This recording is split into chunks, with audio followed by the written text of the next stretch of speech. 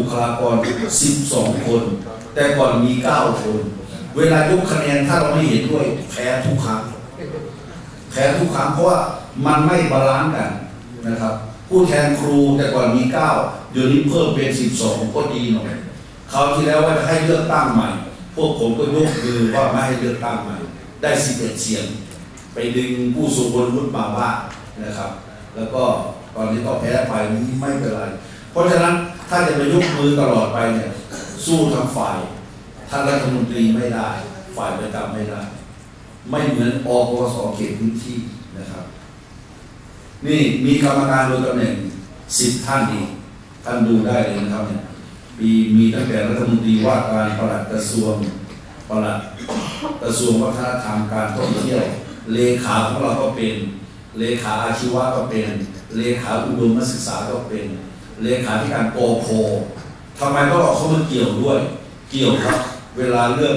เออเรื่องพระราชบัญญัติเงินเดือนอะไรต่างๆ เขาจะค้านอยู่เรื่อยเขาพยายามจะไม่ให้เกินเขา เราก็พยายามให้เกิน ผมก็ไปเขียนว่าอยากได้คนดีคนเก่งมาเป็นครูเนี่ยต้องให้เงินเดือนเหนือกว่าทุกทุกอาชีพตอนนั้นอืมถ้าอย่นั้นก็เป็นอย่างนี้เลยครับ อย่างผมก็ไม่ใช่คนเก่ง เพราะว่าสอบอะไรเตรียมอุดมไม่ได้ต้องมาเรียนครูเอาพูดไปตรงๆนี่เลยนะครับไม่เตรียมเตรียมทหารไม่เตรียมอุดมเตรียมทหารไม่ได้ก็มาเรียนครูเลขาธิการผู้สภาเลขาธิการกองอันนี้โดยตำแหน่ง นี่ผู้ทรงคุณวุฒิเก้าเก้าท่านผู้ทรงคุณวุฒิมาจากไหนส่วนมากรัฐมนตรีเขาจะแต่งตั้งมีท่านอำรุงนี่นะครับ เคยเป็นเอ่อเลขาสกอเก่า มีท่านอัชพร อันนี้เป็นเลขาต่อกฤษฎีกา ท่านรีรนอาจารย์มหาวิทยาลัย ท่านวิราชเคยได้เคยเคยเคยเป็นเลขากปสปคเราเก่าท่านสันนี่ครับท่านพลสันท่านสุขุม ท่านทงทอง ท่านวีระท่านมริวันอันนี้ก็เป็นฝ่ายผู้ทรงคุณวุฒิเก้าท่านดูสินะครับ มีบ้านนอกอย่างพวกเราไหมไม่มี เพราะฉะนั้นความคิดความอ่านเนี่ยพูดกันตรงๆแล้วเขาไม่ได้คิดเหมือนพวกเราเลยนะครับ อันนี้ก็เป็นผู้ทรงคุณวุฒิท่านดูในระดับ 40 41ทั้งนั้นเลยนะครับทีนี้เรามาดูผู้แทนผู้แทนครู แต่ก่อนมี 9 คนตอนนี้มี 12 คน มีมีผมนะครับ ผมชื่อประสมเรื่องก็ให้เบอร์หนึ่งเจอไว้ตั้งแต่มีท่านสมเกียรติเป็นผอเขตมัธยม ท่านสำเริงภูกิรพันธ์ เป็นผอโรงเรียนอนุบาลนครปฐมนะครับ ท่านวิทยาท่านรู้จักดีนะครับผอเอ่อเกี่ยวกับนายกสบมท